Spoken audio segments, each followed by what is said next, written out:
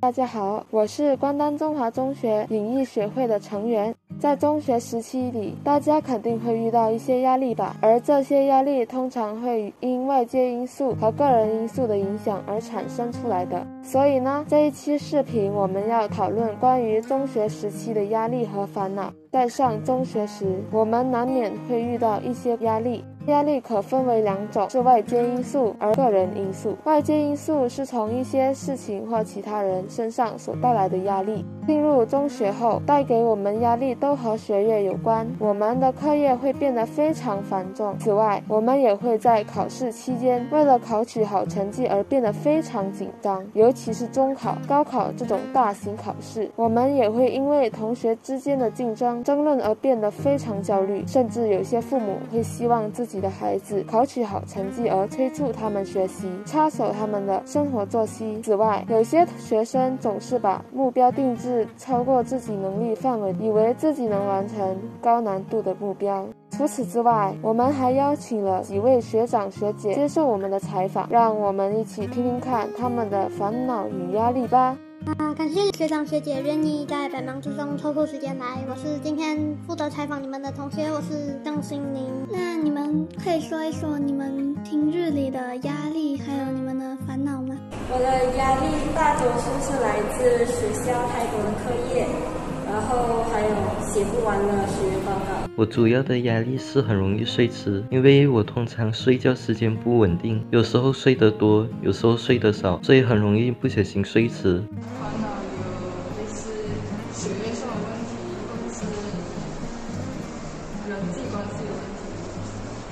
关于学业方面的问题，就好像我们初三今年要经历统考，就很紧张，然后一直读书，很努力的读书。有学关系，然后有时候可能是一些职位上的那些烦恼啊，就好像如果你在这个活动你是当那个带头的，你要去想你要怎么样筹办这个活动，或者是你要怎么样确保你带的活动可以顺利的进行这样子。青少年的烦恼与压力，我觉得是，呃，上了上了我们这个年对自己的样貌有点焦虑。就可能你小时候很邋遢，小时候就是不顾自己的形象，但是你到了呃青少年的时候，你就会开始啊，觉得自己长得不好看啊，然后觉得自己包多啊，会开始为这种容貌感到焦虑，所以就有时候会感到很压力。然后第二点就是呃。学业吧，我觉得，因为上好青少年，呃，就上好这个中学这种时期的时候，你会开始觉得，你会开始跟人家比较啊，开始觉得周围人都比你好啊，然后你会开始给自己就是给自己压力，所以你会时常觉得很焦虑这种。如果是我的话，我应该说是睡眠问题啊，毕竟自从我上了中学，很多人每次抱怨说，哇，上了中学每次感觉很累啊。我小学的时候是不觉得，哇，好精神，可以到处跑来跑去的状态。另外一个就是可能上中学，我们就因为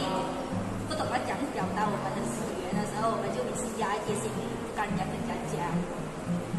然后就另外一个就是，有时候我们想太多什么，然后我们就会有时候会行为我们的会不一样。可能原本喜欢跑出去的人，就喜欢缩在家里面；而喜呃内向的人突然开始很厉害讲话。就觉得很奇怪一下咯。好，那可以说一说你们一般会怎么缓解你们的压力，或者是解决你们的烦恼吗？我的是学业方面嘛，我可能就会劳逸结合，然后玩也玩得开，然后学也努力学啊。就在学的时候认真学，在玩的时候认真，就不要耽误。我的话，我会跟父母聊天就。讲一下一些烦恼的时候，因为你把你的烦恼讲给那个人听了，他们可能会给你意见啊，还是怎么样啊？就找信任的人来沟通，就他们可能可以帮忙你缓解一下你的压力。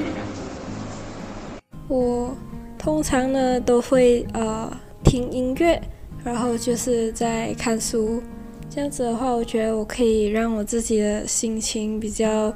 平静一点。这样子的话，我就可以呃暂时忘记那些烦恼啊什么的。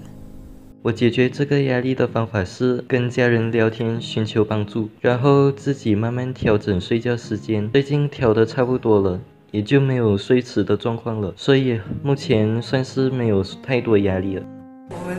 缓解压力的方式应该就睡觉喽，然后就不浪费自己的时间去想这些东西。与其你去想别人好过你啊，然后你觉得你哪一场哪一场，呃，你好，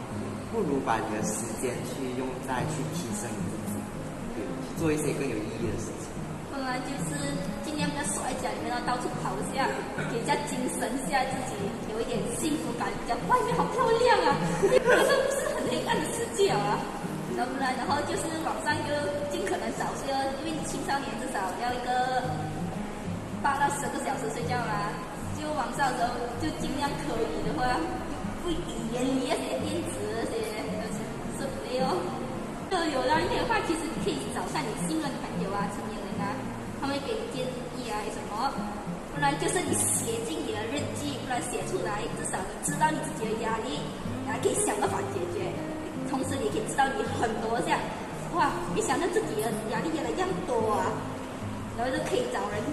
帮你一下咯。好，谢谢你们愿意抽出时间接受我们的采访。其实啊，我们这里有找到一些解决压力和烦恼的办法。那么，学生要怎么缓解压力呢？首先，我们可以参加体育运动。当运动达到一定量时，身体的肥态效应能愉悦神经，甚至可以把压力和不愉快带走。然后，我们一定要保证足够的睡眠。优质且充足的睡眠能提高大脑对刺激性生活世界的调节能力，让我们的抗压能力大幅提高。之后，我们一定要饮食调节，多摄入蔬菜、水果、全谷物、乳制品、鱼、禽肉等食物，有助于人体获得充足营养，更好应对身心承受的压力。然后，我们要自我暗示，选择一个合适的时间，想象自身周围环境中所以对自己有暗示的事物，能够有效的缓解心理紧张的情绪，使得自己身心